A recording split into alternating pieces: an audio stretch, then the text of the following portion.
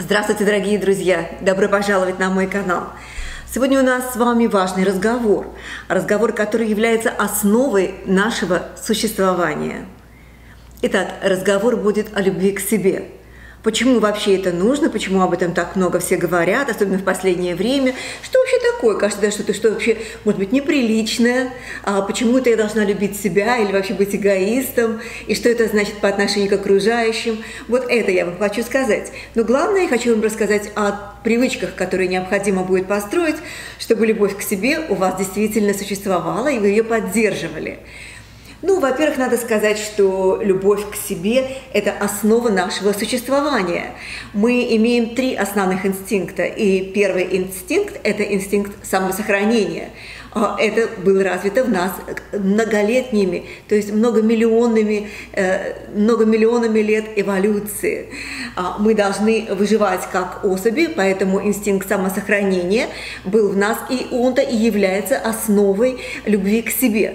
Если мы не побеспокоимся, если мы не выживем, если мы не будем замечены в стае, а мы стайные животные всегда были, млекопитающие стайные животные, если мы не будем замечены в этой стае, если мы не будем хорошо выглядеть, если мы не будем иметь хорошую энергию, то нас никто не заметит, нам не достанется еды в этой стае, нам не достанется партнера, мы не будем иметь потомства. В общем, э, жизнь будет не очень хорошая. Поэтому вот любовь к себе является основой продолжения жизни человека и вообще просто качеством его жизни. И, соответственно, конечно, окружающих, потому что чем лучше будет мы с вами, тем лучше будем окружающих. Никто не хочет иметь слабых, больных, немощных, бедных в своем окружении. Все хотят иметь сильных, умных, богатых, здоровых, правда, и поговорок на миллион на эту тему и так далее. То есть, э, а, поэтому для того, чтобы построить эту любовь к себе и знать, что вообще такое уважение и любовь к себе, только зная это, только чувствуя это для себя, мы можем это дать окружающим. Мы можем быть такими же людьми, которые уважают и любят себя, соответственно, мы можем уважать и любить окружающих. Это так и не по-другому. Если вы думаете, что если вы отдаете себя в жертву, если вы это думаете, делаете все для мужа, для жены, для кого-то еще, то э, вы э, ставите себя на второе, на третье, пятое, десятое место, то на самом деле это, это совсем не так. Вы это делаете всегда для себя и чаще всего из своей слабости. Итак, мы сегодня разговор для тех, кто все-таки хочет узнать это и хочет это для себя применить качество. Семь привычек, которые необходимо построить, знать и уметь для того, чтобы поддерживать любовь к себе. Итак, первая привычка – Уважайте ваши границы, постройте ваши границы.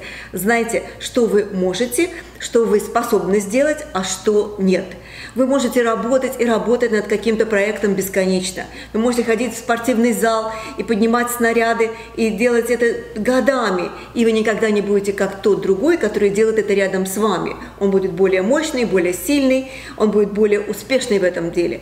Или в каком-то другом деле, в любом бизнесе, в любой профессии. Кто-то может быть лучше, а вы можете этого не достичь. Это не значит, что вы хуже. Это означает, что это есть ваши границы. Вы можете их постепенно расширять, вы можете делать что-то, идти на этом пути. Но это не, не означает, что вы всегда можете стать тот, как кто-то, кто-то другой. И вы один человек, а тот человек другой. Поэтому скажите себе, я сделал все, что мог. Я сделала все, что я могу, все, что в моих силах. Я стараюсь, я делаю, я умненькая, красивенькая, хорошенькая девочка или прекрасный, замечательный парень, и я сделала максимум, что могла. Но это не значит, что вы должны себя критиковать и иметь чувство неполноценности, потому что кто-то другой достиг чего-то большего. Уважайте свои границы и позволяйте никому друг, другим их нарушать. Вторая э, привычка, которую я бы построила для себя, если бы хотела научиться любви к себе. Доверяйте своим чувствам своей интуиции. Наши чувства – это комбинация нашего инстинкта, нашей интуиции, нашего опыта и наших ценностей. Вот это вот все. Я чувствую, что мне надо сделать. Я чувствую, что я должна поменять свою работу. Я чувствую, что этот парень не для меня. Я чувствую, что эта девушка, мне, мне может быть, не продлится отношения долго. Мы это чувствуем, но очень часто мы закрываем на это глаза. Мы говорим себе, ну да, нет, это выглядит все нормально. И даже не позволяем себе, не даем себе времени, чтобы прочувствовать действительно это, задуматься. И поверить, довериться своим чувствам. Мы, скорее всего, иногда доверяем чужим решениям. Мы говорим, о, вот спрошу у него совета. Как он скажет? Как ты считаешь, поменять мне работу или не поменять? Я такие очень часто вопросы получаю в четверг на Инстаграм, где я посвящаю целый день ответу на вопросы и ответы. И очень часто меня спрашивают такие вопросы, которые я бы решила сама. Я бы не спрашивала это. Так вот, это вот и является любовью к себе. Потому что только вы знаете, только вы можете прочувствовать благодаря своей интуиции, своему опыту, своим знаниям, что нужно и что можете вы. Никто никогда не даст вам правильный совет. Никогда. Вас могут направить, но вы знаете лучше, что вам нужно. Единственное, что нужно делать, это все-таки доверять себе, доверять своим решениям, своим чувствам и никогда никого не спрашивать, как вам поступить. Третий совет, который я хотела бы вам дать, это даже не совет, это привычку, которую нужно построить. Это заботьтесь о своем здоровье и о своей внешности, о своей красоте.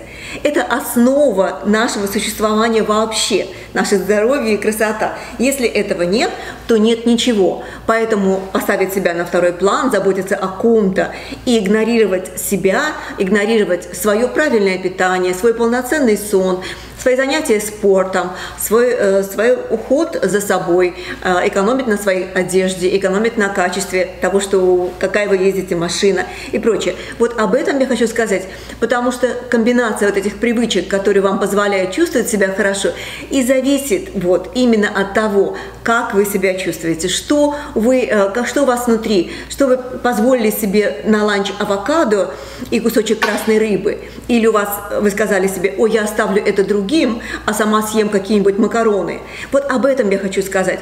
В первую очередь сама, первую очередь сам. Тогда, когда вы будете сильным, вы сможете больше заработать денег и больше купить авокадо. Когда вы будете э, любить себя и знать, что вы достойны большего. Не ставить себя все время на вторую какую-то полку, на второе, на третье место и говорить себе, ой, это не для меня, я, я этого недостойна, я недостаточно хороша, я недостаточно хорош, я недостаточно умен. Нет.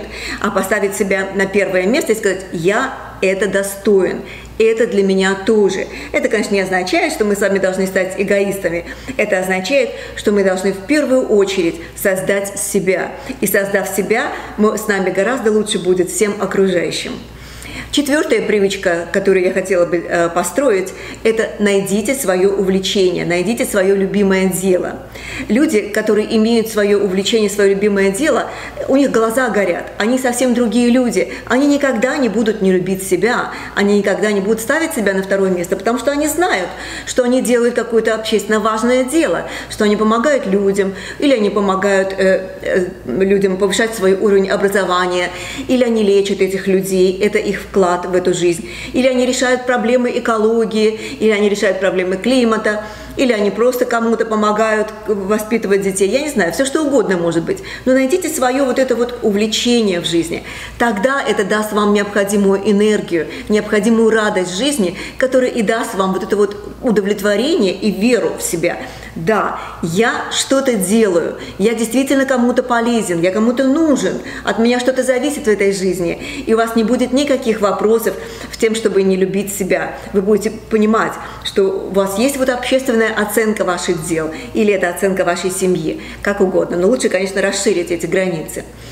Следующее, что очень и очень важно – Делайте только решения, основанные на том, что ну, вам нужно – а, сделайте ваше «мне нужно» приоритетом перед «я хочу». То есть главное, что мы должны с вами делать, каждый раз, когда мы что-то принимаем, какое-то решение, не «я хочу», как вас многими, многие очень учат, э, любовь к себе – это делать то, что вы хотите. Нет, нет, нет, это совсем не так. Любовь к себе в первую очередь – это поставить приоритетом, что вам нужно.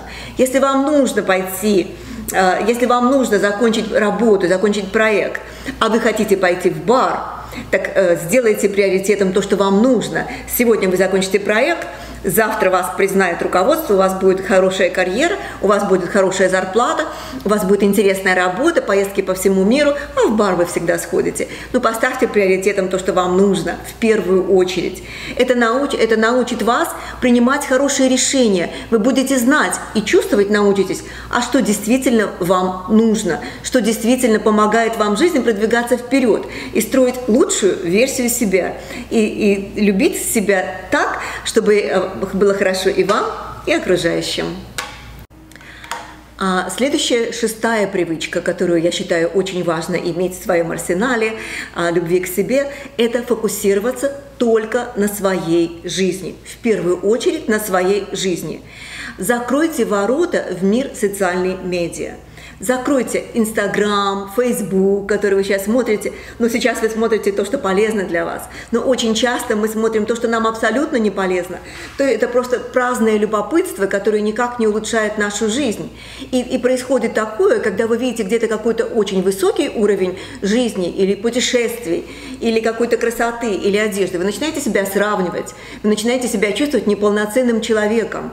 Кроме того, люди в социальной медиа, вот послушайте меня, могут вас оскорблять, могут вас унижать. Это люди, которых вы даже никогда не встретите. Не потому, что вы плохи на самом деле, а просто потому, что у кого-то не в порядке что-то с головой, и он напишет какую-нибудь очередную там гадость вам в, в комментариях. Это не, не имеет никакой ценности для вас, никакого отношения к вам не имеет, если кто-то вас критикует, если кто-то вас унижает. Но вот эта вот э, красивая жизнь и фокус на жизни других людей – опускает нас вниз. Мы говорим, я недостаточно хорош, я так не могу. У меня нет такой одежды, у меня нет такой яхты, у меня нет такой виллы, у меня нет такой семьи красивой, у меня нет столько машин. Зачем они выставляют эти машины свои красивые, я все время хочу спросить. Ребята, вот Таяс, вы зачем машины показываете? Это уже давно не уровень, сколько стоит машина. Ну пусть она стоит 250 тысяч долларов, но это не уровень, который ну, нужно показывать как уровень успеха. Это могут очень многие себе позволить. Но а, настоящий успех, он должен быть не, не показным, он должен быть тихим, правда? Правда. Итак, вы можете таким образом просмотреть свою жизнь, когда вы наблюдаете за чьей-то жизнью. Вы перестанете быть а, благодушным себе, затем благодарным себе за то, кем вы стали. Вы будете думать, что вы не, вы какой-то лузер.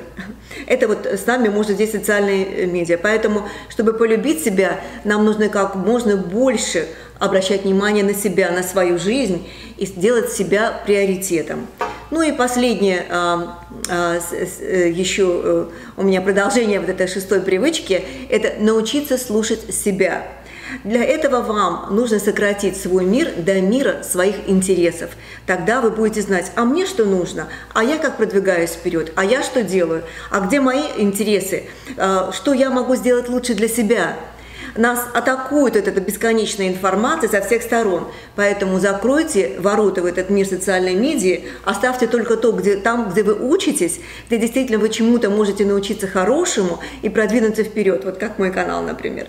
Это действительно школа, школа, э, школа того, чтобы построить свою самую лучшую жизнь. И вот оставьте в этом место для себя. То есть фокус все-таки на себе. А, не меняйтесь, потому что кто-то этого хочет. Меняйтесь потому, что вы при этом растетесь и становитесь лучше для себя. Перестаньте интересоваться жизнью других. Начните интересоваться только своей собственной жизнью. Ну и последняя, седьмая привычка, которую я добавляю в этот список, это полюбите рискованные возможности. У нас не так часто в жизни бывают какие-то возможности, которые нам, нас могут серьезно продвинуться куда-то. Мы что-то заметили, что-то придумали, кого-то встретили, нам кто-то что-то предложил интересное, а мы сказали, а, ладно, я это слышу от клиентов очень часто, у меня будет еще. Да, это очень хороший дом, да, ну, мой дом будет всегда меня найдет, а потом никогда не найдет. Так никогда не бывает. Поэтому, если вы хотите любить себя, вы должны поверить в свои возможности и возможности преодолевать трудности. Потому что, а, как я сказала, эти возможности вам вырастить и сделать свой прогресс в жизни не бывают часто. Они могут быть у вас один раз в жизни, а могут и вы их можете просмотреть и никогда больше этого не достигнете. Поэтому прежде чем а, вы полюбите себя, вам нужно стать самим собой, поверить в себя. Это самое-самое главное – Вот всегда помните, что ваша обязанность – любить себя в первую очередь – это так красиво и так притягательно. Вы наверняка встречаете людей, которые вы чувствуете, как от этого человека исходит уверенность в себе, любовь к себе, как он доволен собой. И э, он не, не как-то не уродливо это делает, а делает спокойно, так, что это не будет э, заметно вам, он не будет ничем кичиться, он просто будет спокойно доволен собой. Вот это вот мы с вами должны этому учиться. И вот такие семь привычек я предлагаю вам включить в свой список. Возьмите какую-нибудь записную книжку, запишите все эти привычки в записную книжку, напишите их сейчас в комментариях коротко. Раз, два, три, четыре, пять, шесть, семь. Напишите прямо в комментариях. Этим самым вы запомните их еще лучше. Хорошо? А я с вами прощаюсь. До следующей встречи. Надеюсь, с вами увидеться завтра в прямом эфире по вторникам в 20 часов Москвы. И мы будем говорить о недвижимости. Мы поговорим о том, что важно в покупке, продаже недвижимости? Уже подходит осенний сезон, и я думаю, что для многих это очень актуальная тема. Пока-пока, мои дорогие. Bye.